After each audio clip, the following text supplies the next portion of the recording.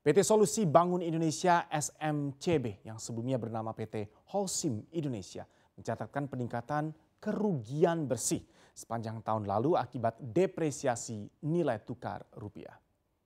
Data laporan keuangan mencatat total kerugian tahun lalu mencapai 827,98 miliar rupiah atau bertambah 9,22 persen dari kerugian 2017 yang sebelumnya mencapai 758,05 miliar rupiah.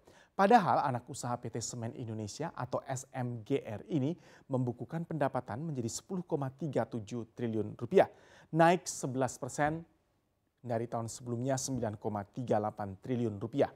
Beban pendapatan juga naik menjadi 8,73 triliun rupiah dari beban di tahun 2017 sebesar 7,5 triliun rupiah. Pada 2018, kerugian kurs yang diderita perusahaan mencapai 38,85 miliar rupiah. Padahal tahun sebelumnya tidak ada kerugian pos ini. Ditambah lagi ada kerugian lain-lain yang mencapai 35,55 miliar rupiah.